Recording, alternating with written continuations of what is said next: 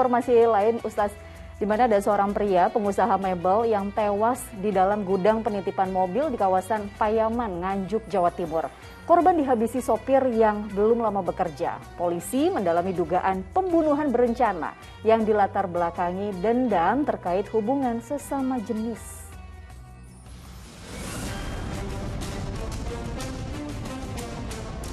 Aparat membentangkan garis polisi di depan gerbang sebuah gudang penitipan mobil di Jalan Dr. Sutomo, Payaman, Nganjuk, Jawa Timur.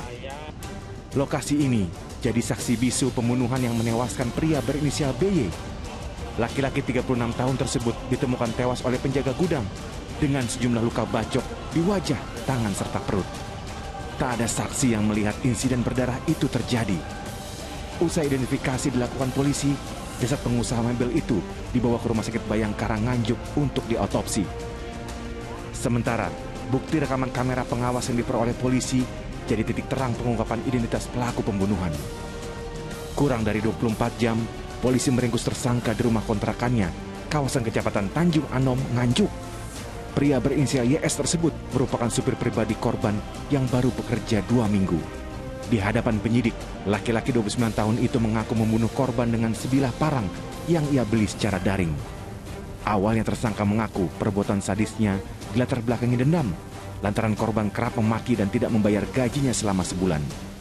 Yaitu adanya rasa sakit hati, ingin balas dendam karena perlakuan dari korban yang kurang uh, kooperatif lah ya, atau sering memarah-marahi korban, kemudian sering menyuruh korban bekerja sampai larut malam, kemudian bahkan ada beberapa kewajiban-kewajiban uh, korban seperti membayar gaji dan sejenisnya itu tidak dipenuhi oleh korban sehingga korban merasa uh, pelaku merasa sakit hati terhadap korban.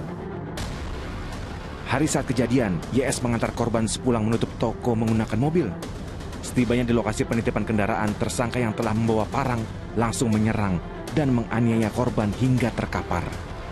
YS lalu kembali ke toko majikannya dengan berbekal kunci yang diambil dari kantong celana korban. Ia pun menggasak sejumlah barang berharga milik BY seperti ponsel, uang tunai, hingga mobil pick-up. Hasil curian itu lalu ia jual kepada seorang penadah senilai 14 juta rupiah. Setelah melakukan serangkaian pemeriksaan terhadap tersangka, polisi menemukan fakta baru.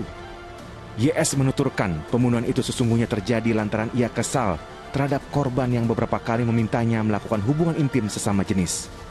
Keterangan tersangka seiring dengan temuan bukti baru percakapan dari aplikasi pesan di ponsel milik korban. Pelaku ini tertekan batin, um, sering dimarahi, terus juga tidak dibayarkan gajinya.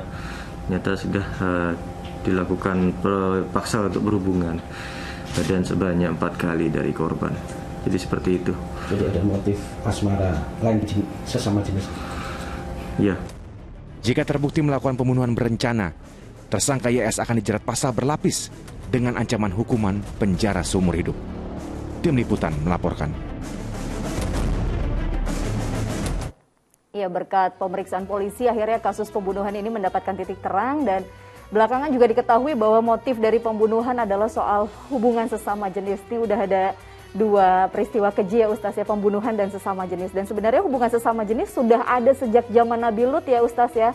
Dulu kaumnya sampai diazab menggunakan batu api. Nah sekarang muncul lagi ada di kaumnya Baginda Rasul Ustaz. Apakah kita seketika langsung berdosa ketika sekitar kita atau ada teman yang memiliki hubungan sesama jenis ini Ustaz?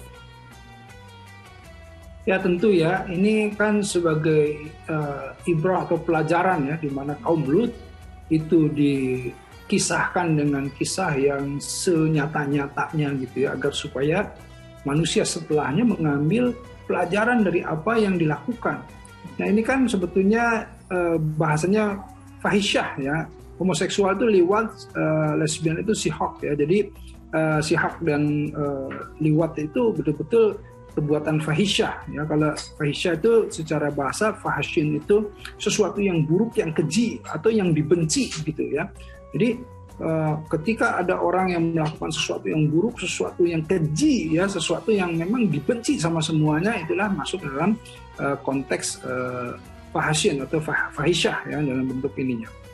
Nah, di dalam uh, Al-Quran itu memang dinyatakan ya, dijelaskan betul uh, ketika uh, kaum Nabi Lut melakukan itu semuanya Allah mengazab.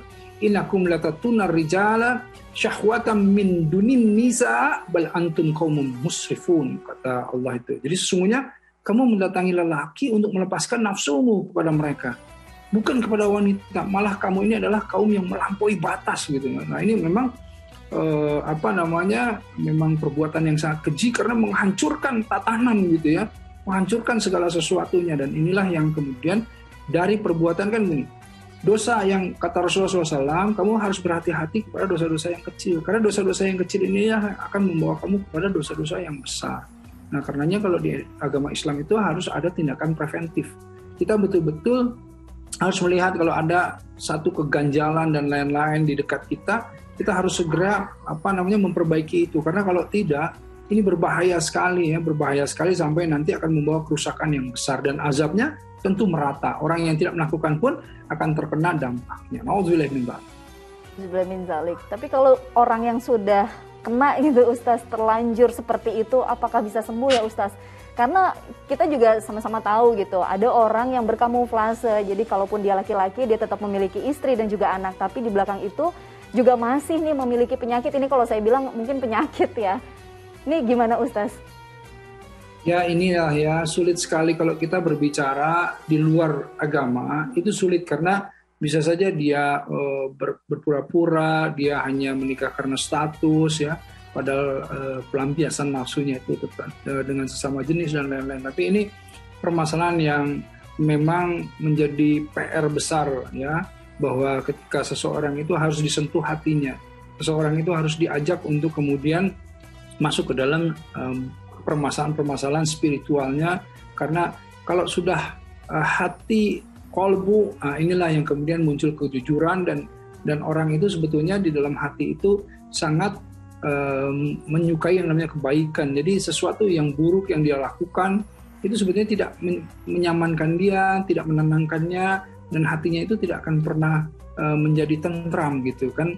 Ala bidzikrillah tatmainul qulub hanya dengan mengingat Allah hati itu menjadi tenang. Tapi kalau dia melakukan yang buruk-buruk, ingat Allah malah jadi tambah tambah takut, tambah khawatir, tambah gelisah dan lain-lain.